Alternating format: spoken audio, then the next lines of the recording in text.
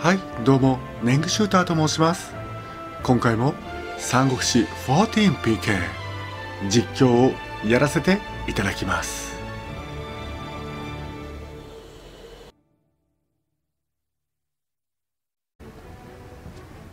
はいでは続きをやってまいりましょう。ついに兵数差10万差までにじり寄りましたね。にじり寄る？うんちょっとボキャブラリーがおかしいんですけども近づきました。そして我々ですね A 案を取りましてあと益州は漢中のみですね。ここはもう激しく戦っているというかもうこちらの方が不利ですねこれ。この長江一人に。一応退却かけてますけどやられちゃうかもしれません。そしてこの数ですねもうチューチュートレインでこちらにやってくる。これはどうしようというんだ本当に。で我々ですねどうもこの策がダメな気がしますね。これどうしよう。コメントにいただいた通りこれ点数いった方がまだマシなんじゃないかっていう。やっぱりこの白水館攻めるの無理なのかな5万攻めようとすると漢中から出てくるし。っていうところですねここは。あとはですね軒並みちょっと優勢に回りまして。やっぱりこの慶州ですね南慶州取ったのが大きくて兵力がかなりあります。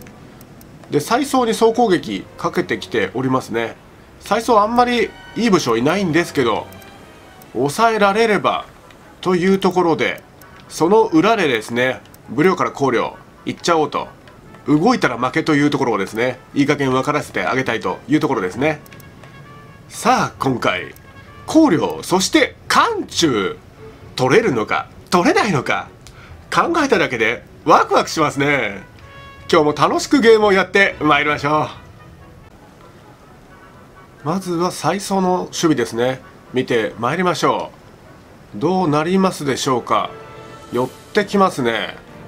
まだあれですね船が中型の船ですね。中型って言ったらあれだけど何でしたっけあの船。猛将か。猛将なんですね。一回も爽快になったことがな。いあ遅くて乗り込まれとるやないかこれ。遅くて。何してんの？あー乗り込められるとああうせに一騎打ちを挑まれたやないかほら。もうこっちのねミスはね許してくれないんだから彼らは。76対76これは勝てるぞ。同じなんだから。どっちが上か教えてやる。いや教えてやれよ。いいバチこいさあどうなる？勝ってるけど？あ。どうだろう？あどっちだ？負けとんのかい。負けとんのかい。なんでかね？負けててもあれぐらいだとね勝ってるように見えるんだよね。不思議なことで。さてではですね武領出発しております。総勢8万ぐらいでしょうかね。もう捕虜オーバーキルですよこれ。回してこれますか？8万。いやこれそうだな。なので調査からも行きましょう。調査は9万9000いるんだ。これもう出さないと。溢れちゃう溢れちゃう。溢れちゃうその思い。そうですね。両隊両隊でも7000でしたよね。両隊完食上げましょう。どんどん上げる。両隊確かねあれ持ってるんですよ。戦争突撃。よし。両隊には式1万7000を与えようでは行きます。兵器2つですね。長玉と旅隊こちらか。戦蔵突撃。あとはですねゴツ突にアシュラ人がついてます。ここら辺ですね活躍してもらいたい。アシュラ人は拠点も入りますからね。むちゃくちゃですよね。ほんとぶっ壊れ。さてもうかように乗り込んじゃうと平坦切れちゃうのか。じゃあ誰か一人行かせないといけないですね。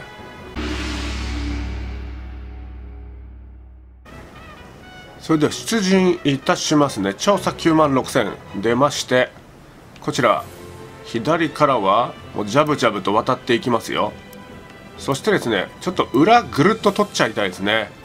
そしたら一気に濡れるからなんてね思っていますが。なんと。そう撃破どこで？お取られましたね。もう死だよ。あいつ椅子に座ってるんですよね。もう死だよ。そしてオーシュン囲みましたねなんとかこれでオーシュンは倒せるか。でここですね。ここのポジション早く入んないと。まずいですね。乗り込んできますよこれ。でこちらはカンペとチントウで抑えております。カンペチントコンビです。カンペチントシャーン。カンペチント？おおすごいすごい。ダブル投石入って。何ですかこれは？あカッダーもうね傷を負ってるのは大体死にかけですからね。最初何気にちょっと難しくなってきましたね。守れそうでねかなり厳しいです。なんかいろんなところでやってるんですよね。馬体がここで投石なんか壊してるのかな。進んでる途中ならいいんですけど。これ壊されちゃうとねここから入られちゃいますからね当たり前ですけど。そしてカンペ結構やられてる。どうしたんだこれは？すごくパワーが低いぞ。進めてみましょう。うん。まあでもそんなにでもやらやられてないか。うん。いややられてるなやっぱり。なんでだろう。一方こちら側。あ何とか配置つけましたね。ただ環球州が兵力がもう低い。これはやばい。一応代わり呼んでますけど陸員の核翼そして両党の奉仕ですからね。これじゃちょっと守るのが不安ですね。いくら船とはいえね1万とか持ってきてますから。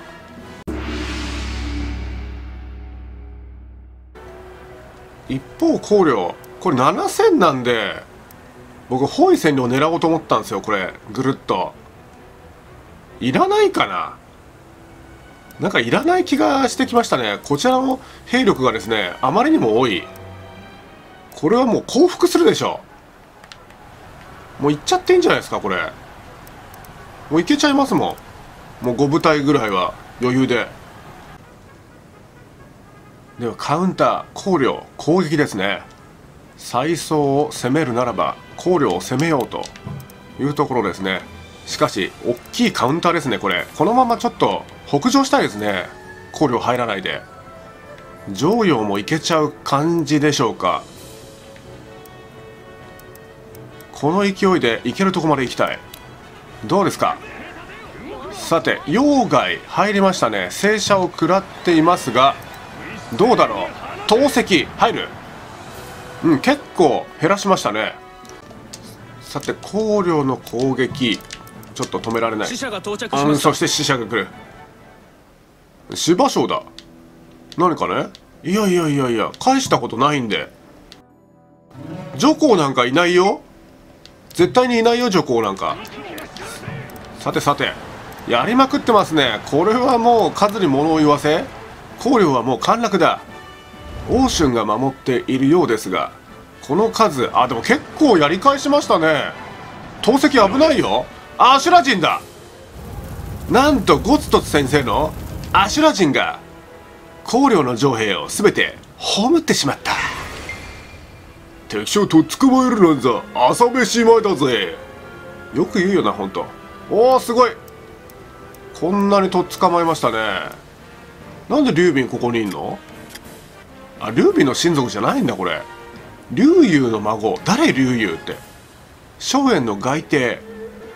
松園とともに名を知られ高蓮に推挙された。はあじゃあ全員フォリョ楽しみだな。さてどうしますか？包囲占領したと思ったら取れちゃったんで。無意味ですね。あとは常用行きましょう。押していきましょう。うんいけるでしょこの勢いで。で再走には耐えてもらうと。すごいよ総攻撃。やばいやばいこれは。まあ君たち見るのはそこじゃないんだけどね。まあ確かにね絶妙に突破できそうだもんねこれね。頑張ったら。寛平君も1500しかいないよこれ。うんこのままなんかギリギリで守っといた方がいいかもしれない。釣れるかもしれない。そしてまたここで小競り合いが始まろうとしている。今度こそ勝てるんだろうか。諸葛亮さん勝てますか？では剣閣白水館の間ここですね。では孔明先生の手腕お土塁をここに作ってピシャッと止めた。もうここだ。ここしか敵の入り口はない。これで敵はやってくるのか。でなんか気のせいか引いた気がするんですよね。えどうするんだろう。ちょっと遠目で見て全体的にあチョーコはこっち来るぞ。全然引いてないぞこれ。大丈夫かな。突っ込んでくるんじゃないかこれあーやっぱそっち来るんだ。倒せんのかあいつは。おケンア豊作。いやしかしですねこの毎ターンすごいあれですよ。操作量多いですよ。操作量というか処理量めちゃめちゃ多いですよ。いろんなことやってますけどねそれでも抜けちゃうんですよね。ほんとね三国志14はね時間泥棒。何を言ってるのかよくわからないですけども。さてチョークを倒せんのか？あ寄ってきた。火の中に寄ってきたぞ。諸葛亮さん今度こそ。頼むよ今度こそ。ピョロロじゃないんだよ。ピョロロはもういいんだよ。一方傭兵館ですけどもここで4人待機してこの青蘭を待っております。この山の青蘭は失敗しましたね。えらい遠い。もうとっくにね投石だったら攻められましたよ。ほんと参りましたよ。その時多分投石がなかったんですよね。いやこんなにね遅いとは思わなかったです。で今4000なんで1回こっちが出ないようにですね蓋したいですね。ダメかな。蓋してもチェンジの時に前出ちゃうかな。後ろいたら。で蓋しつつ後ろ眼光で4000ぐらいなんとかなんないかと。あでも正射か。ダメかな。ちょっと行ってみたいんですよね。ここ塞いで後ろ頑固2人だもんな。傭兵か硬いなやっぱり。勝ってんぞこれ。どうかまあいいや。ライドウには死んでもらおう。ここに突っ込む。まあライドウで落とせることはないでしょどうした？うで頑固2人後ろから。やってやろう何用か。いや無理そうだったらすぐ引きたいですねこれね。眼光がいるかいないかでだいぶ違いますからね。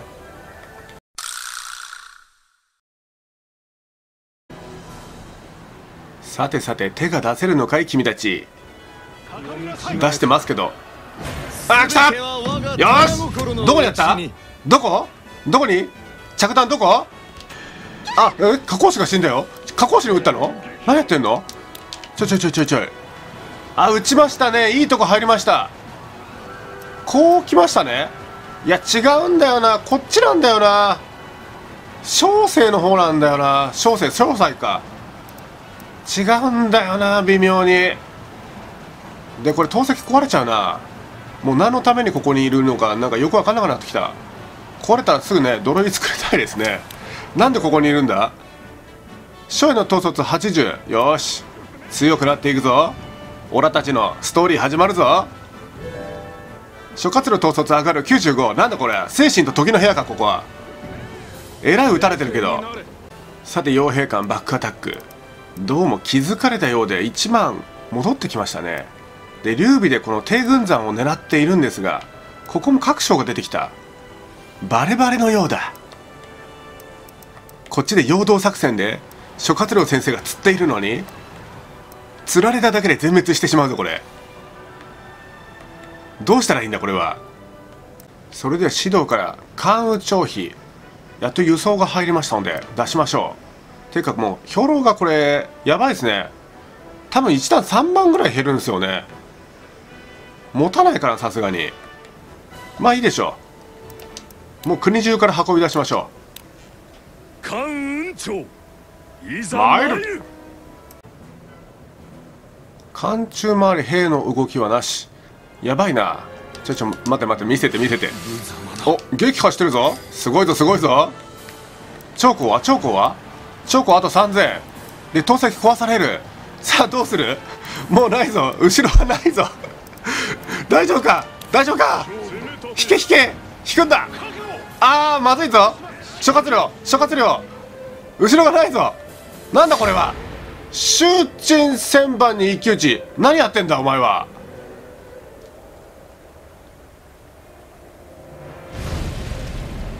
千番61おいえー？負けてるし。勝てるんでしょうね。仕掛けたってことは。えバッチ来い。ええええええ？え？え？一回もいいとこなかったんだけど。一回も。え？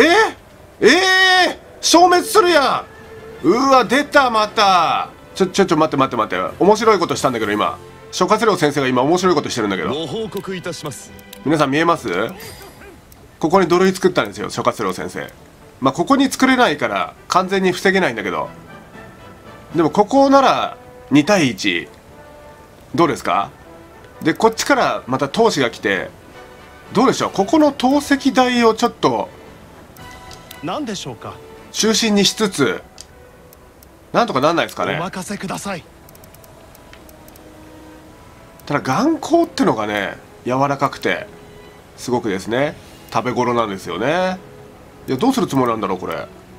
引くか前に出るか2つに1つ。一方各所こっちに行きますね。やっぱ傭兵感バレましたねこれ。バレバレだこれどうしようかな。多分劉備が突っ込んでも帝軍山反応しますよねこれ。ちょっと式も足りないんでこのリュウさん学装持ってますんでちょっと一回ここに戻りましょう、うん、ここら辺ちょっとね守りを置いたりすごくねやっぱり無駄な傭兵ですね。でここはこの周知が入ってきたんで平坦切ろうと思ったらあべこべにやられるっていうね。どうしようもねえですねそして常用はもうほぼ固まりましたね。で包囲占領つきまくってるんでこれどこ行っても包囲占領ですね。もうこっちはいいか。もうこの単位いけちゃいますか。もう両隊来てるし行っちゃいましょう。突っ込んじゃいましょう。あれでもここウリンコがやられマークがついてるな。いやどっちが有効なんだろう。取られてでも両方取るんでいやもう取れるもん全部取っときゃいいですか。ね。よくわかんないけど。わかった。どうもこの包囲占領がねあの複雑になると分かんないんですよね。ということで今回の兵数差75万対74万5千。来ました。ついに兵数で逆転でございますこれは勝ち筋見えてきましたね。いやーいいですね。これでもう慶州は結構押せそうですね。漢中に集中しているようだ。で香料も定期的に来ますけどなんかちょろちょろなんですよね。もうちょっと我慢できなくなってますね。攻めては来るけどなんか曹操の悪いところにいましたねやっぱり。まあ一番の焦点はね漢中ですね。もう諸葛亮先生次第ですよ。先方出すのかい出さんのかいと「はよ出せや」と。ほんとそこがねもう一番面白いところになってきました。ということで今回も最後までご視聴ありがとうございます。もしよろしければチャンネル登録高評価いただけますと大変励みになります。よろしくどうぞお願いいたします。